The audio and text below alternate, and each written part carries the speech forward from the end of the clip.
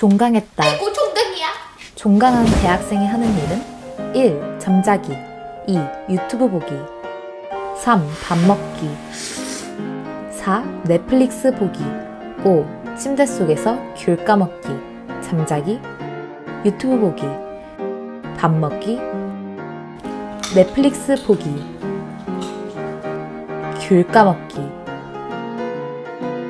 잠 유튜브 밥 넷플 귤 잠, 유, 밥, 넷, 귤. 언니 이제 졸업반 아니야?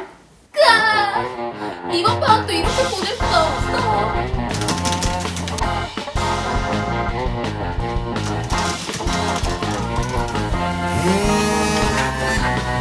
여보세요? 다음 주부터 출근 가능하세요? 취업했다. 여행 유튜브 인턴으로. 아니, 근데 여행 유튜버는 무슨 업무를 하지? 기차 타고 유럽 여행? 마차 타고 왕궁 구경? 세계 곳곳에 미술관 리뷰?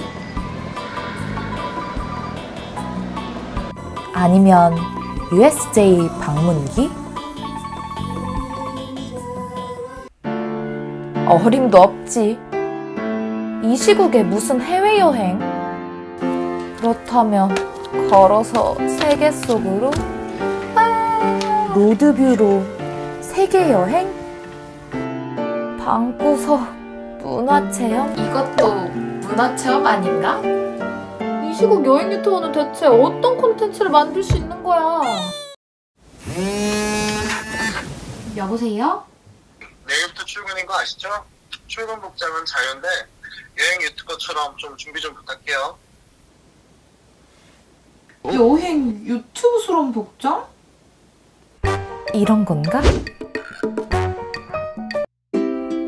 이런 거? 아님, 이런 거?